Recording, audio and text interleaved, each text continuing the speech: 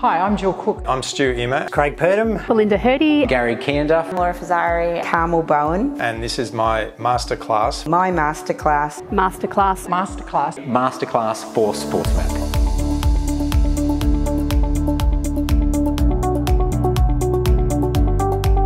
In this class, we're going to have a look at assessing, differentially diagnosing, and then managing Achilles tendinopathy in a more elite athlete. The saphenous nerve comes just medial to the femoral condyle. And just pushing the ball of the foot into the floor with the aim to see can we subtly lift this medial longitudinal arch of your foot. So it's really small amplitude head turn, so you're doing about 30 degrees to each side, but you're doing it really quickly.